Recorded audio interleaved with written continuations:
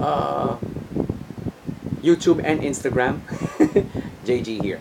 Now, uh, it has come to my attention that uh, in this time of disaster, all right, as of this recording, Taal Volcano is still uh, is still uh, losing its temper, okay, so to speak, and the asphalt is uh, is still ongoing here.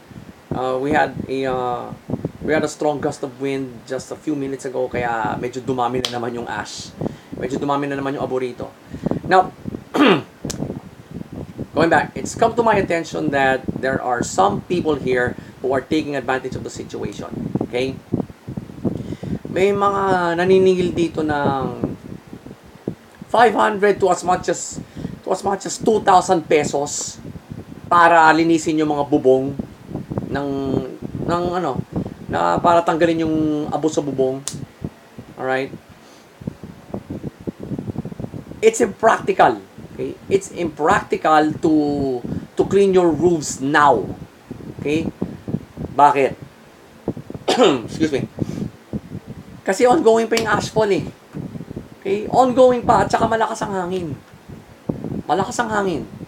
So, pagkalinis, pag pinalinis yung mga bubungan ninyo now, okay, right now, the ash will come back.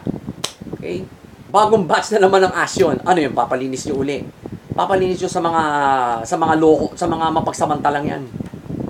Alright? It's impractical right now to clean your roofs. I'm not saying that you sh- you should not clean your roofs. I'm saying it's impractical. Kasi ongoing pa yung ashfall. Okay? Taal Volcano is still spewing out ash and steam. So, cleaning it right now, cleaning your roofs right now is out of the question. Kasi, the ash is going to come back to your roofs. Okay? Bagong batch, a new batch of ash is going to fall on your roofs. Sayang ang pera. The best thing, the best thing you should do right now is, well, clean the, clean the obvious.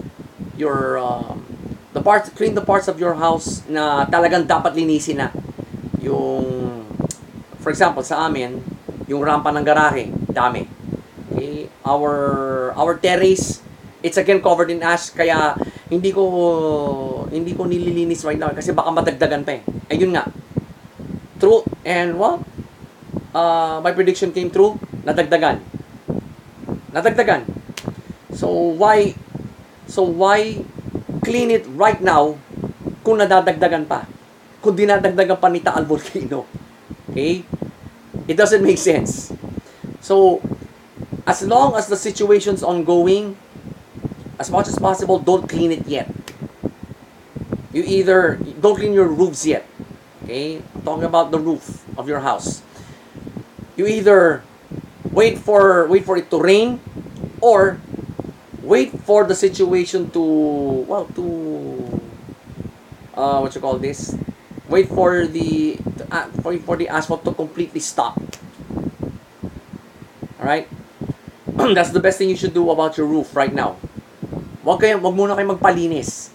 Right? As much as possible clean your own roofs. Don't give those don't give those opportunists a chance.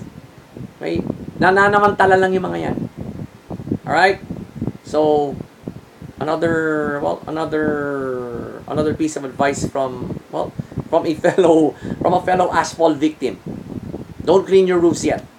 Okay? And don't, uh, don't let opportunists take advantage of you. Especially in this time of disaster.